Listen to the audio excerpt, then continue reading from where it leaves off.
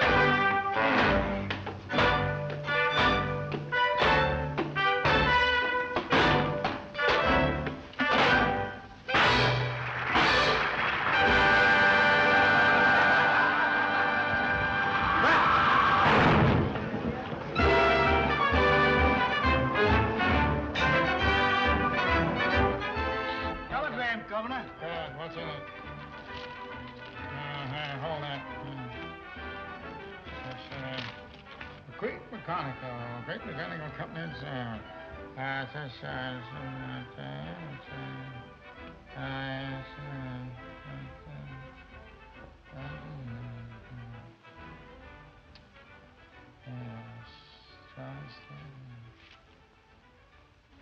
Uh, there's no no answer, no answer. Pull up your socks. Go, quick, quick, quick, quick, quick. Go in.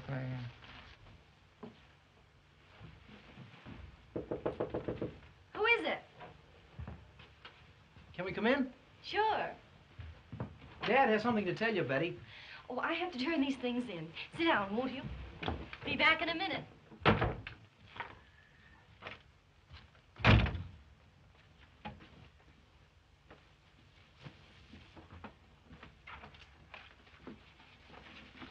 Uh, never mind this. Uh, you run to the boarding house and pack all the trunks.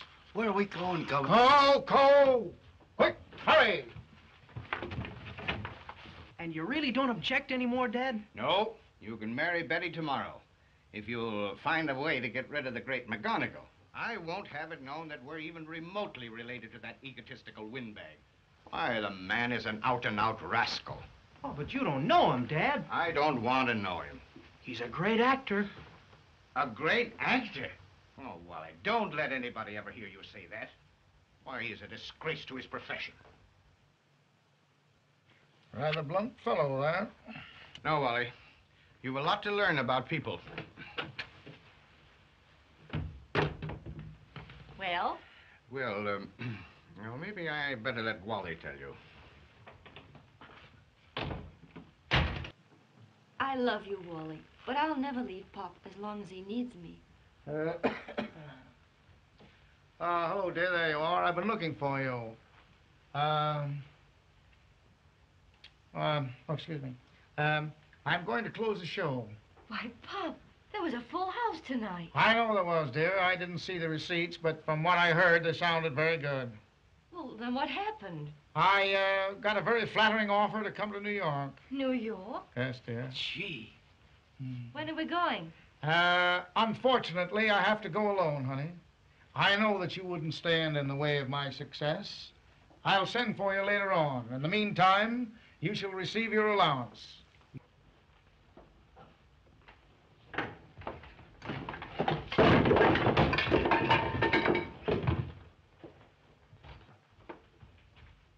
What's going on here? Oh. Ah, my good Mrs. Wendelschaffer, I regret having awakened you at this unearthly hour. But a friend of mine, Charlie Bonaire, the top mounter of the Glinceretti family, is coming to spend a few days with me. We're bringing his trunk in. Come, come. No, you don't. Huh? I've had enough of your kind. Take that trunk right out of here. Mrs. Wendelschaffer. Go on, go on, go on. However, you are mistress of this establishment. Oh, dear Charlie.